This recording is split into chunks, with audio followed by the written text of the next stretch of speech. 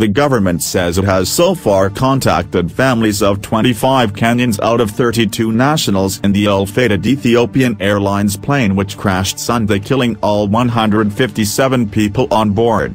Speaking during a media briefing at the Jomo Kenyatta International Airport Monday, Transport and Infrastructure Cabinet Secretary James Macharia said the government is hosting the relatives so that it can provide them with as much information as possible and also provide them with an environment of privacy.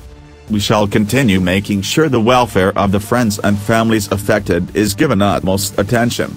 As of now, out of the 32 passenger who are on board, the teams have managed to reach out and talk to 25 families and so we have about 7 to go.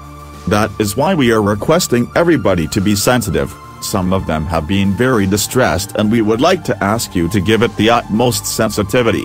They are grieving and we ask you to give them as much space as possible, he said.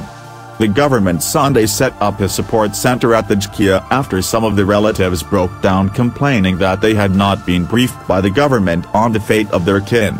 This comes as the Kenyan embassy in Addis Ababa set up an emergency and information help desk near the Bole International Airport for families and friends of victims of the ill-fated airlines.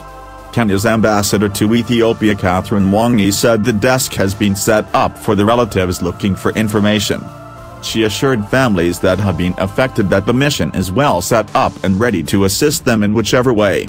We are going to set up this morning a desk inside the airport specifically to receive Kenyan families that will be coming to Addis.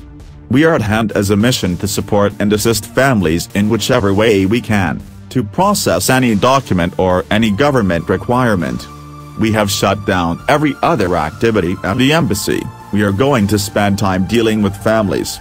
At the same time, Transport Principal Secretary Esther Koimett who is leading a delegation to Ethiopia confirmed that the two nations had set up a committee with all stakeholders concerned to conduct forensic investigations and identify the victims.